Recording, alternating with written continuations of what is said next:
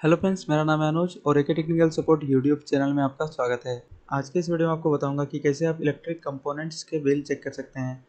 जैसे कि पंखा आप चलाते हैं तो पंखे का कितना बिल आता है पर डे का टीवी चलाते हैं तो टीवी का पर डे का बिल कितना आता है, या फिर और भी आप आयरन चलाते हैं हीटर चलाते हैं लैपटॉप चलाते हैं, वो सब सारा चीज़ का कितना बिल आता है। तो ये सारा कंपोनेंट चलाने में आपका पर डे का बिजली का कितना खपत होता है और कितना आपको पर डे बिजली में पैसा देना पड़ता है, ये अगर आप जानना चाहते तो इस वीडियो में आप बने रहिए। इस वीडियो में आपको बताऊँगा कैसे आप इलेक्ट्रिक कंपोनेंट्स के बिल चेक कर सकते हैं। तो चलिए इस वीडियो को स्टार्ट करते हैं। सबसे पहले आपको क्रोम ब्राउज़र को ओपन कर लेना है। फिर आपको रेपिड टेबल्स डॉट कॉम पर आ जाना है। इस साइट का लिंक मैं आपको वीडियो के डिस्क्रिप्शन में दे दूँगा। जैसे आप उस लिंक पर क्लिक करोगे तो आप इस पेज पे पहुँच जाओगे। फिर आपको यहाँ पे कंट्री सेलेक्ट करना है। यहाँ पे पहले से यूनाइटेड स्टेट सेलेक्ट है। तो आपको जस्ट यूनाइटेड स्टेट पे क्लिक करना है।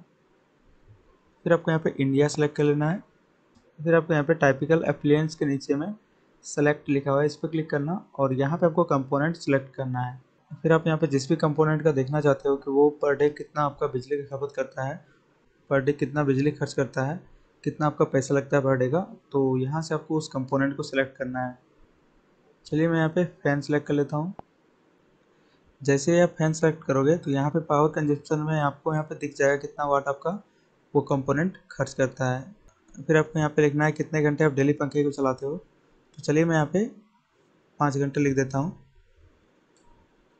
और उसके बाद आपको यहाँ पे कुछ भी नहीं करना है, जस्ट आपको यहाँ पे कैलकुलेट पे क्लिक करना है। जैसे ही आप यहाँ पे कैलकुलेट पे क्लिक करोगे तो यहाँ पे आप देख सकते हैं इलेक्ट्रिसिटी कॉस्ट पर डे चार पॉइंट दो रुपया। अगर आप पाँच घंटे डेली पंखा चलाते हो तो आपका चार पॉइंट दो रुपया डेली का खर्च होता है। और यहाँ पे आपको मंथली भी देखने को मिल जाएगा। यहाँ पे आप देख सकते हैं इलेक्ट्रिसिटी कॉस्ट पर मंथ एक सौ सत्ताईस रुपया, आठ सौ अड़तीस पैसा, जो कि आपका महीना में खर्च होता है। अगर आप पाँच घंटे डेली पंखा चलाते हो तो आपका एक साल में कितना पैसा लगता है इलेक्ट्रिसिटी में? वो यहाँ पे आपको दिख जाएगा नीचे में। पंद्रह सौ चौंतीस रुपया, जो कि आपका एक साल में खर्च होता है। अगर आप दूसरे कंपोनेंट का देखना चाहते हो कि आप टेलीविज़न चलाते हो टीवी चलाते हो तो टीवी आपका डेली कितना खर्च करता है पैसा? तो यहाँ पे फिर से आपको फैंस पे क्लिक करना है। और यहाँ पे आपको टेलीविज़न पे क्लिक करना है। फिर आपको यहाँ पे कितने घंटे आप चलाते हो, उसको यहाँ पे लिखना है। अगर आप डेली दो घंटे टीवी चलाते हो तो जस्ट यहाँ पे आपको दो घंटे लिख देना है और फिर से आपको कैलकुलेट पे क्लिक करना है। तो यहाँ पे आप देख सकते हैं नीचे में, डेली आपका एक पॉइंट अड़सठ पैसा खर्च होता है टीवी चलाने में। अगर आप दो घंटे टीवी चलाते हो लाइन से तो आपका डेली एक पॉइंट अड़सठ रुपया खर्च होता है। और महीने में आपका इक्यावन रुपया एक सौ पैंतीस पैसा खर्च होता है टीवी चलाने में। और साल में आपका छः सौ तेरह रुपया बौसठ पैसा खर्च होता है। दो घंटा अगर आप डेली टीवी चलाते हो तो।